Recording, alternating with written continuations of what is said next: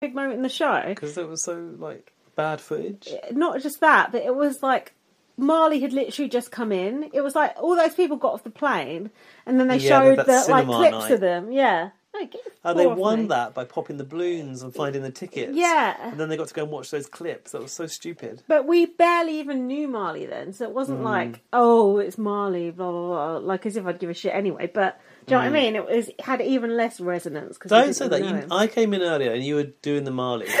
I saw it. I, saw, I caught it. Towie's doing the Marley right now. um, so uh, then they played some of Danny's best bits again. Fuck knows why. Just more Danny. Why yeah, not? he said, "I'm just here to maintain a low profile," which I think is the funniest thing Danny said in the house. Uh, he said he gave it 110 percent to get on the podium. And then Sonia was going to him, oh, how would you sell the Big Brother house? And then he got confused and didn't goes, oh, I meant more like the fixtures, yeah. the fit-ins. and he like, was like, oh, it ain't that great a house, wasn't it? yeah, he didn't go for No, it, did he? he He didn't give Sonia what she wanted. Bless him. Um, They should have told him that beforehand. I know. Uh, and then da- Dan said, I played the game with honour and gusto, and I swung the baseball bat from the moment I went in to the moment I left. So what a quote just to come out with out of your mouth. with honour and gusto. and I swung the base. This is your tattoo of the week. From the moment I went in to the moment I left. I think you should just have That's like here honour and gusto, like Yes, on a, and on a, on a in the middle. suit of ar- a coat of arms. Danny's face in the middle. Oh please! It's only a matter of time before someone gets a Danny tattoo. Is this just before Katie said she played the integral game Fuck- again? Yeah, I think it I was. so. Yeah, it's dumb twat. um, and he said it was the best experience of my life.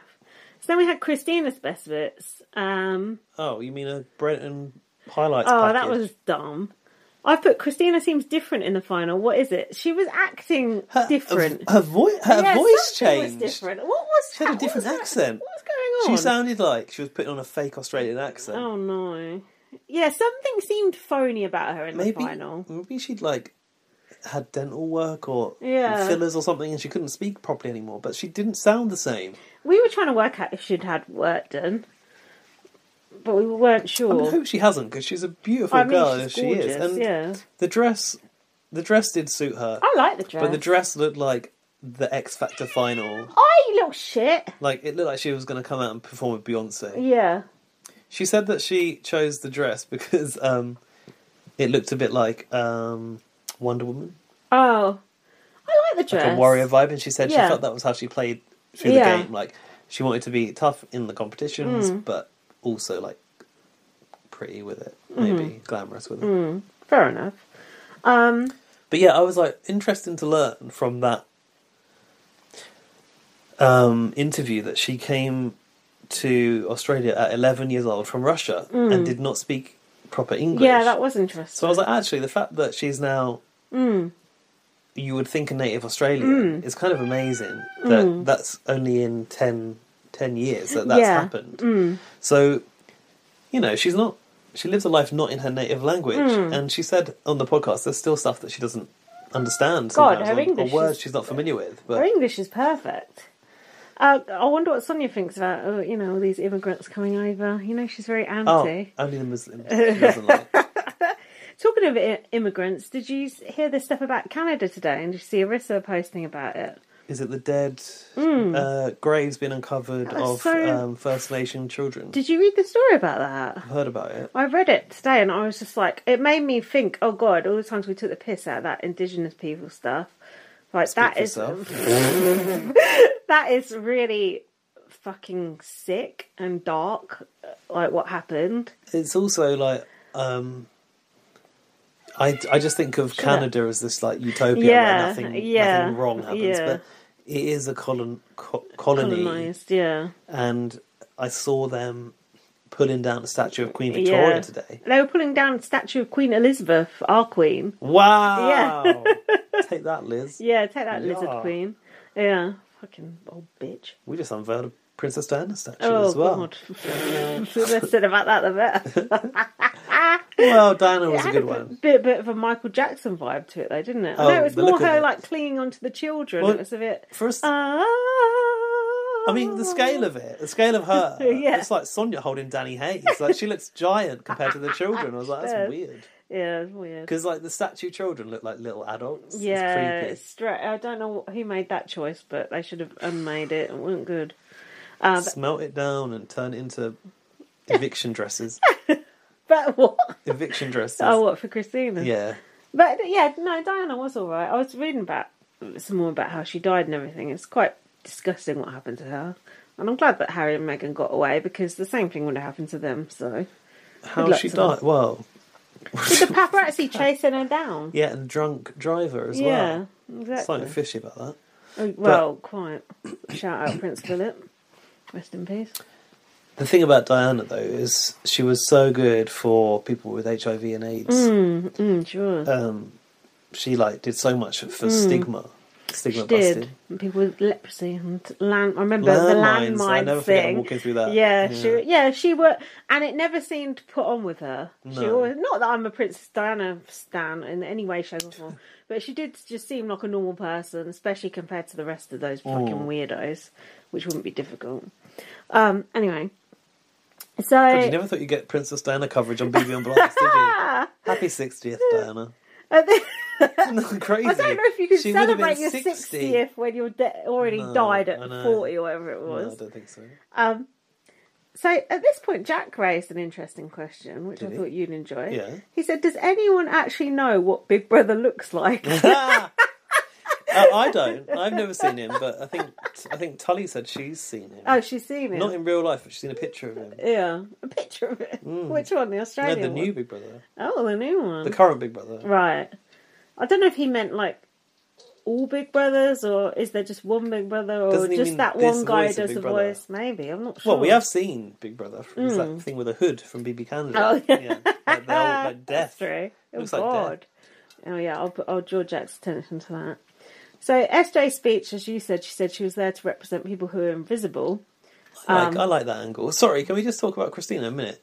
I think she constructed that like, oh, this is my childhood dream. Oh yeah, Oh, I didn't even like- write that down. like, she never mentioned that in the house, but at the same time, she could have mentioned it and it been edited out. And what another thing I want to say is, Yes, please say it. um, Sid yes. Marley said on his podcast Hmm. that Sid has been accused of playing the race card, and he was Ugh. like, "Wow, I'd never have even thought of that." Hmm. And like, he said it's disgusting that people say that. And actually, Sid was talking Hmm. correct. Hmm. about wanting to represent and show Indian immigrants, Yeah. or younger, positive younger light. Indian, Indian immigrants. They could also be a Big Brother finalist. yeah. yeah. They could also appear on trashy reality TV. yeah. Um, and it was something he talked about throughout the show, but it's only because Big Brother chose to, Yeah. to edit it in at that point that Yeah. it, it looked appeared or could be construed as playing a card when actually it had always been his reason for being there. But how is that even playing a card? Like wanting representation of your nationality on Your- well, not nationality, your ethnicity on Yeah. TV. That's uh, such a load of bollocks. Fuck those people. Um, SJ. did, did you want to say anything else about? Chris? Don't fuck SJ. She's too old. No, I mean you're talking about SJ. Carry on. Yeah. So, oh, Mm. Jack noticed something here. This is very, very interesting, conspiracy wise. Who's observant today? When they What? were, do- I know, when they were doing the speeches, yeah, SJ creatures. was talking, and it was sort of a side camera on her face. When Christina was talking, it was also sort of a side camera on her face. Marley gave his speech directly camera. into the fucking camera, eye to eye with that fucking camera. Ah, Tell me I that didn't ain't. that. Tell me that ain't fishy. Wow. Don't you think? Either Marley's clever and he saw the red light and looked at the camera and they didn't notice, Yeah. or Ted has got a very big plan with I think Marley. Marley's got a knack for TV. Mm. As he said, his mum said he was going to be a star. Was Marley in the middle at that point? Marley, that's his new TV show. Marley in the middle. Um, no, he was not in the middle. SJ was in the middle. Ah, so there's no, no reason why he would be staring directly down that camera then, but he did. Oh, well, they all stood up when they did yeah, that. he connected with the camera. Was it like the plea to like why you should vote for me? Yeah. Didn't SJ say vote for Marley? Uh, SJ No. said I was there to represent people who are invisible. I thought that was in the diary room chair. She said that. And here Jack said, I'm surprised they're not letting Marley go last, but then they couldn't lay it on that thick.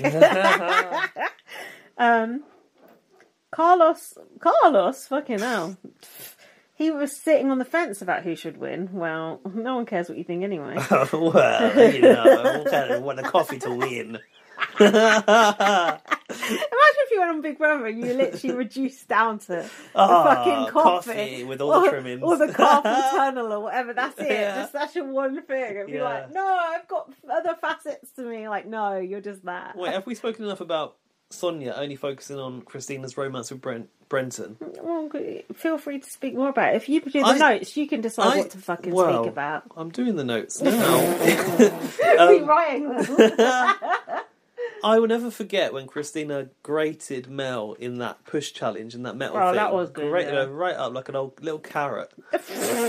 like Christina had balls, yeah, and she played tough Yeah. in some of those competitions. she did. Yeah, she, And oh, she- uh, that that one underwater where they had to stay underwater. Yes. that was good. Yeah. Wasn't Ari in her team as well though? And she goes, "Oh, I won." Oh, when Oh, she yeah. came out, she goes, "I won," and then Ari had to do the back and forth. But like, I do think she played quite well. She said in the Played really well. She said in the podcast with Tully that her plan was to like not excel in competitions until the end, and shit, it turns out the competition was really hard, and I couldn't anyway. Hmm. But she she goes, "Oh, I got there by not floating." And I thought, I don't know if you if you didn't float because there was a period where you went, "We need to keep these people in because they will take other they can win competitions, they will take other people out." I feel like she did I'd say she did. fly have, under the radar she did have an alliance. Just her alliance wasn't that loyal to her.